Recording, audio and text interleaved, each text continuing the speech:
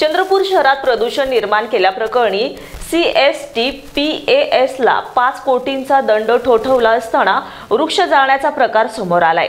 Chandrapur super thermal power station वसाहतीत एका चाळीस वर्ष जुन्या व चाळीस फूट उंच जांभळाच्या झाडाला नष्ट करणाऱ्या उद्देशाने झाडाला दोन ते तीन फूट खोल छिलण्यात आल्यानंतर झाडाला आग लावून जाळण्यात आलाय. या प्रकारामुळे झाडांचं अस्तित्व धोक्यात आलं असून आठवडाभरात झाड वाळून नष्ट होण्याची भीती व्यक्त केली जाते झाडाला जाळणाऱ्या विकृत व्यक्तीविरोधात संजीवनी पर्यावरण व सामाजिक संस्थेचे अध्यक्ष राजेश बेले यांनी वन विभाग तसेच C S T P A S व्यवस्थापनाकडे तक्रार केली आहे व झाड तोडणाऱ्यावर कडक कारवाईची मागणी केली आहे. तक्रारीची दखल घेत वन विभागाचे अधिकारी घटनास्थळी दाखल झाले.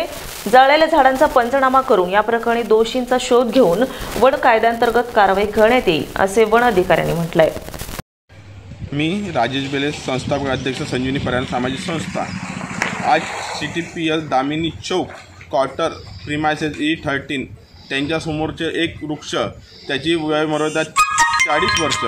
हा वृक्षाला शिलून आणि त्याला जाळून तोडण्याचा प्रयत्न केलेला आहे. आणि असे वृक्ष आज काळाची गरज आहे. पर्यावरण वाचवण्याकरिता आणि Chandrapur super thermal power station खूप मोठ्या प्रमाणात वायू प्रदूषण करते. आणि ते वृक्ष तेच स्वतः तोडून राहिलेलं आहे. एक शोकांतिक आहे.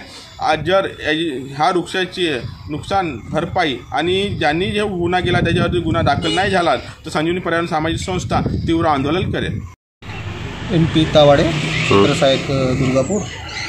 आम्हाला तक्रार प्राप्त झाली.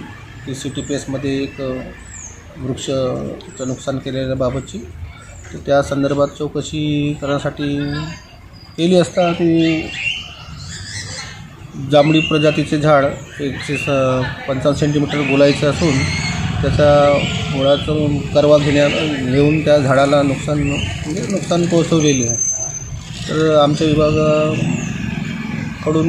जे काही त्याच्या नियमानुसार त्याच्यावर कारवाई करण्यात येईल. Vikas Morewar Star Maharashtra news Chandrapur.